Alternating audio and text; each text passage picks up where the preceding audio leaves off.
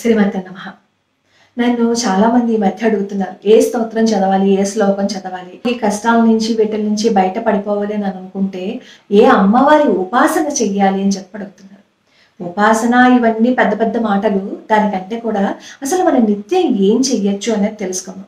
అది తెలుసుకునే ముందు ఒక చిన్న సంఘటనని తెలుసుకుందాం. ఎందుకంటే ఇది వింటే మన స్తోత్రాల మీద మన శ్లోకాల మీద ఇంకా ఎక్కువ నమ్మకం ఏర్పడుతుంది అనమాట ప్రభుదత్త బ్రహ్మచారి గారిని ఆయన దగ్గర అవధూతేంద్ర స్వామి వారు శిష్యుడిగా ఉండేవారు.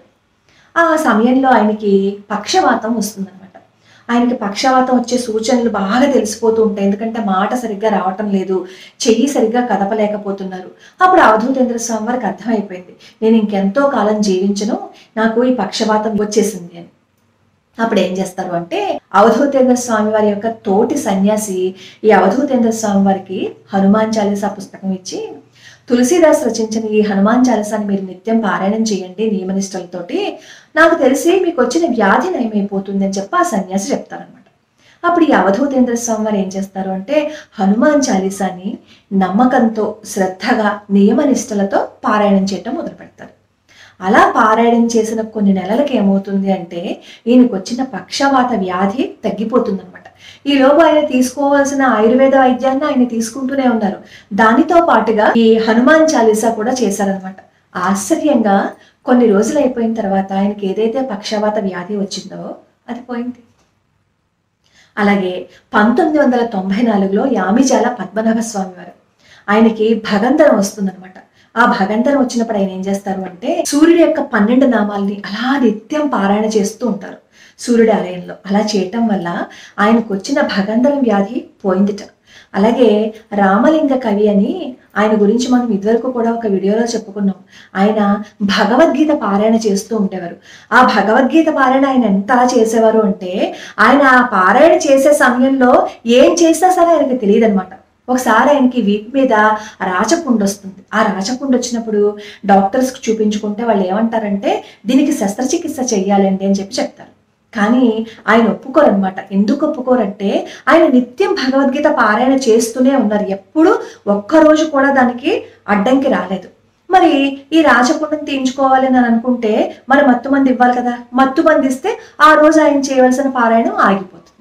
అప్పుడు ఈ రాచపుండు ఉన్నా పర్వాలేదు నేను అలాగే ఉంచుకుంటాను. మీరు నాకు మత్తు మంది ఇచ్చి మాత్రం ఆ రాచపుండికి వైద్యం చెయ్యక్కర్లేదు. లేదంటారా? మీరు నిజంగానే నాకు వైద్యం చెయ్యాలి. అది మాత్రం ఖచ్చితం అని అనుకుంటే చెయ్యండి. కానీ నేను భగవద్గీత చదివేటప్పుడు చెయ్యండి అని చెప్పి చెప్తారు.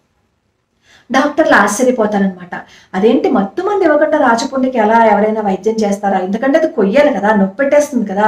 అలాంటప్పుడు మరి ఎలా చేస్తారు? డాక్టర్స్ చాలా ఆలోచించి ఇంకా ఏం చేయాలో పాలుపోక మళ్ళీ ఆయన వచ్చి అడుగుతారనమాట స్వామి ఒక్కరోజు మత్తు మంది ఇస్తే మీరు ఆ పూటకి భగవద్గీత పారాయణం ఆపేయండి అంటే కుదరదు.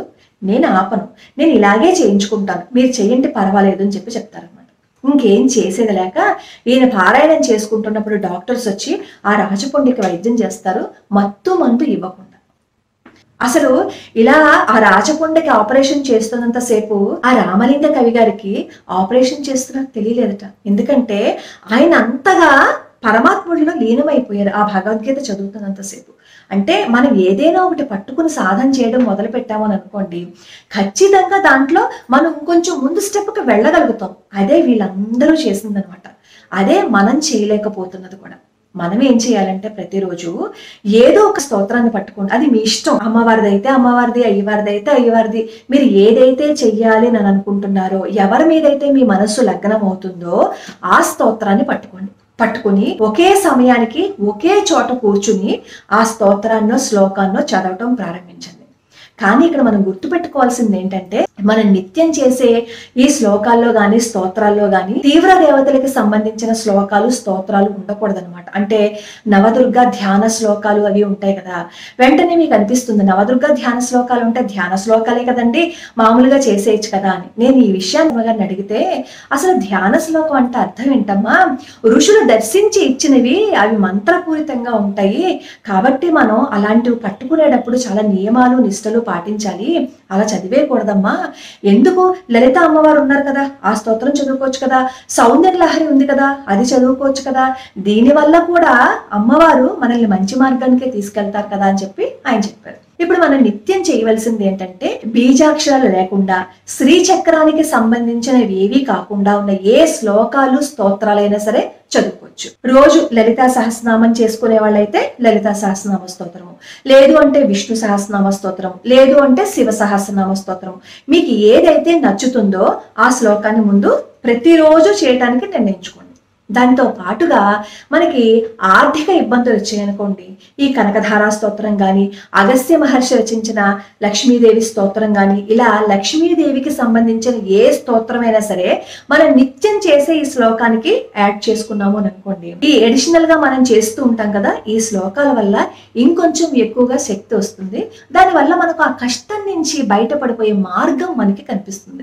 జ్వరంతో బాధపడుతున్న వాళ్ళు అపిత కుజాంబ స్తోత్రం గనక చేసినట్లయితే ఆ జ్వరం నుంచి బయటపడిపోతారట.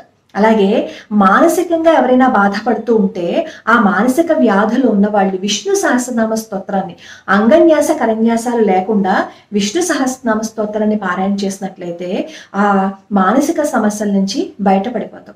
పరమాచార్య స్వామి వారికి ఎప్పుడైనా జ్వరం వస్తే మందు తీసుకునేవారు కాదు. విష్ణు సహస్రనామ స్తోత్రం వేద పండితులు అందరి చేత పారాయణ చేయించుకునేవట. నూట నాలుగు జ్వరం ఉన్నప్పుడు కూడా ఆ వేద పండితుల చేత చేయించిన పారాయణం వల్ల ఈయనకి జ్వరం తగ్గిపోయేదట.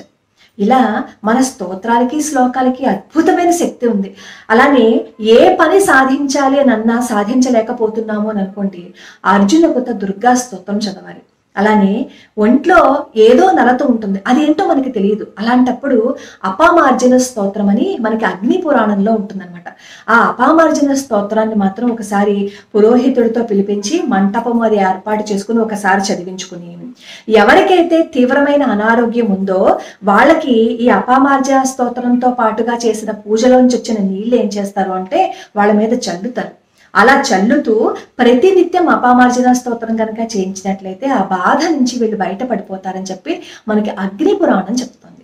అలాగే చర్మ వ్యాధులు ఏవైనా ఉన్నాయని అనుకోండి సూర్యుడికి సంబంధించిన ఏ స్తోత్రం చదివినా సరే దాని నుంచి బయటపడిపోయే మార్గం మనకి కనిపిస్తుంది. కంటికి సంబంధించినవి ఏవైనా ఉన్నాయనుకోండి అశ్విని దేవత స్తోత్రం చేస్తారు.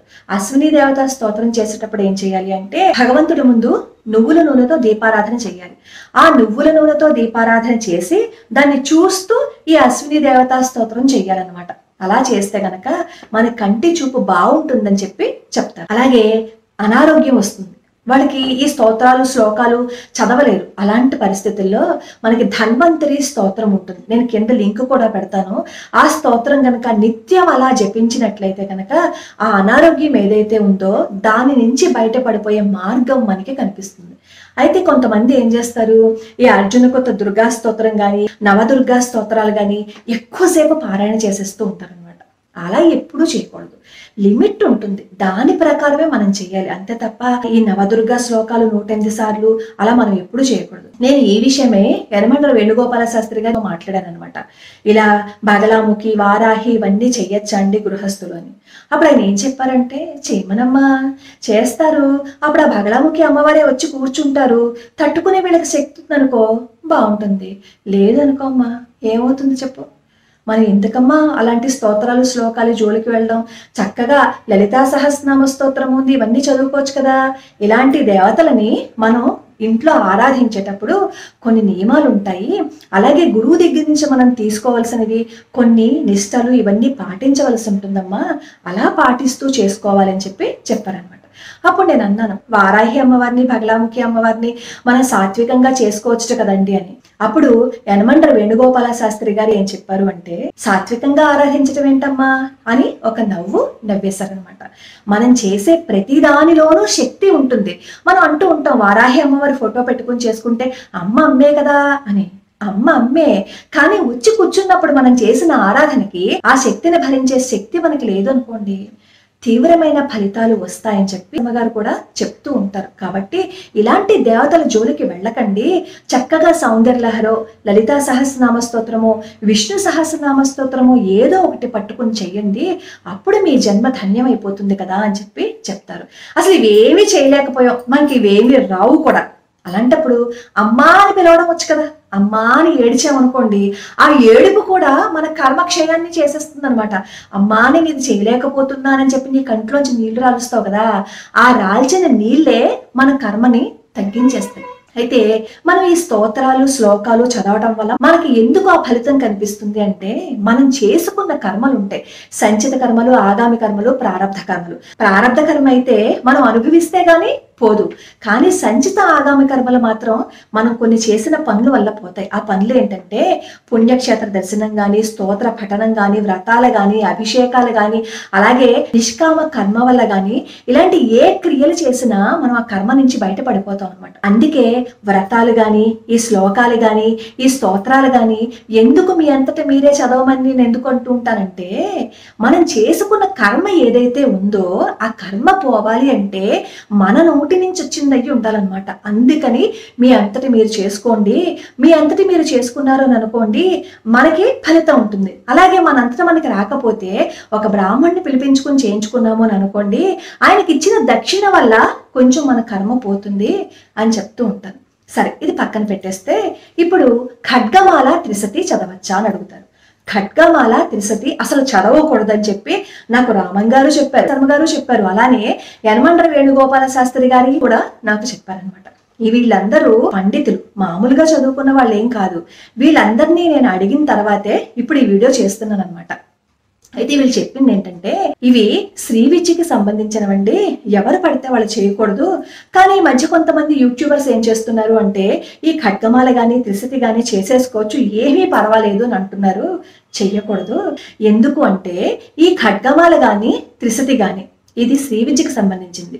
త్రిశతైతే అయితే పూర్తిగా మంత్రపూరితము. ఈ మంత్రపూరితమైన వాటిని గురుపదేశము ఉండాలి. అది ఎలా చెయ్యాలో మనకి తెలియాలి. దీంతో పాటుగా పూర్ణ దీక్షణ ఉండాలి. బాలమంత్రం ఉపదేశమైనా ఉండాలి. ఇన్ని నియమాలు అవన్నీ ఉంటేనే మనం వాటి జోలికి వెళ్ళాలి.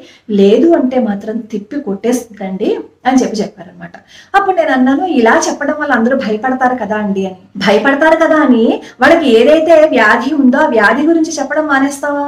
ఆ వ్యాధి ఏంటో చెప్పి దానికి తగ్గ మందు చెప్తాం కదా. అలాగే మనం వాడికి ఇది చెయ్యకూడదని చెప్పి మీరు ఏం చేసుకోవాలో మనం చెప్పామనుకోండి వాళ్ళు చేస్తారు అని చెప్పి రామం గారు చెప్పారనమాట కాబట్టి మనం నిత్యం ఏ శ్లోకాలు స్తోత్రాలు చదువుకోవాలో తెలిసింది కదా. ఏవి చెయ్యకూడదో తెలిసింది కదా. ఉగ్ర దేవతలు తీవ్ర దేవతలు స్తోత్రాలు చేయకుండా మామూలుగా సాత్వికంగా ఉన్న ఏ దేవతారాధన అయినా సరే చేసుకోవచ్చు. అలాగే నామజపం.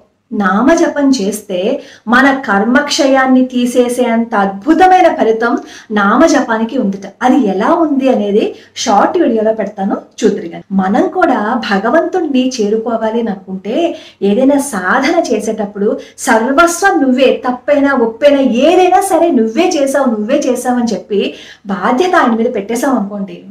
మనం ఏదైనా ఉండదు. అది గొప్పైనా తప్పైనా ఒప్పైనా ఏదైనా సరే. అప్పుడు భగవంతుడు ఏం చేస్తాడు తెలుసా? ఇదేంట్రా బాబు ఇది మొత్తం అంతా నా మీదే పెట్టేసింది. ఇప్పుడు దీన్ని నేను చూసుకోకపోతే ఎలాగా అని చెప్పి అప్పుడు భగవంతుడు మన మీదకు చూస్తాడనమాట.